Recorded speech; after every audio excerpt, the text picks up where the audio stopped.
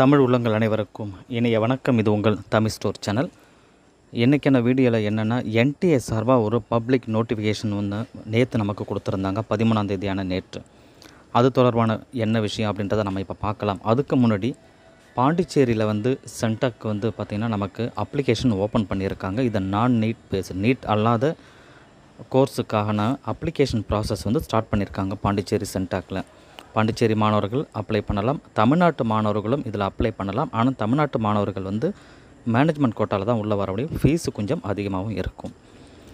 So முழுமையான detail உங்களுக்கு நான் பிறகு வந்து தனியாக ஒரு வீடியோ கொடுக்க போகிறோம் அதில் நீங்கள் தெரிஞ்சுக்கலாம். ஸோ என்றைக்கான வீடியோவில் மெயினாக வந்து ஒரு பப்ளிக் நோட்டிஃபிகேஷன் என்டி நீட் எக்ஸாம் எழுத போகிற மாணவர்கள் வந்து பார்த்திங்கன்னா அவங்க அப்ளிகேஷன் அப்ளை பண்ணியிருப்பாங்க. எல்லாருமே அப்ளிகேஷன் ஃபில் பண்ணியிருப்பாங்க. ரிஜிஸ்ட்ரேஷன் பண்ணிவிட்டு எல்லாமே ப்ராசஸ் முடிச்சுட்டு பேமெண்ட் மட்டும் கட்டாமல் இருப்பாங்க.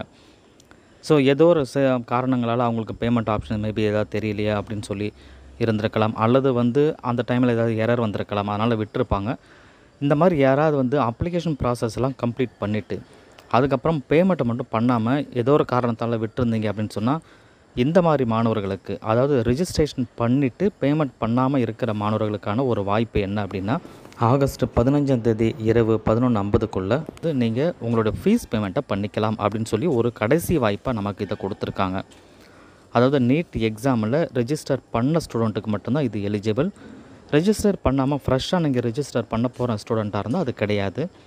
ஏற்கனவே ரெஜிஸ்டர் பண்ணி அப்ளிகேஷன் ப்ராசஸ்லாம் கம்ப்ளீட் பண்ணிவிட்டு பேமெண்ட் பண்ணாமல் இருந்த ஸ்டூடெண்ட்டுக்கு மட்டும் இது எலிஜிபிள் ஆகஸ்ட் பதினஞ்சாம் தேதி பதினொன்று ஐம்பது வரைக்கும் வந்து நீங்கள் வந்து உங்களோட பேமெண்ட்டை கட்டிக்கலாம். இது ஒரு நல்ல ஒரு வாய்ப்பு.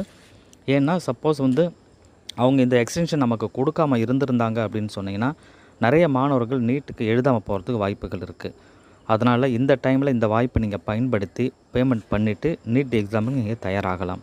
ஸோ இந்த வீடியோவை எல்லாருக்குமே ஷேர் பண்ணுங்கள் நிறைய பேருக்கு கண்டிப்பாக யூஸ்ஃபுல்லாகவே இருக்கும். தேங்க்யூ ஃபார் வாட்சிங்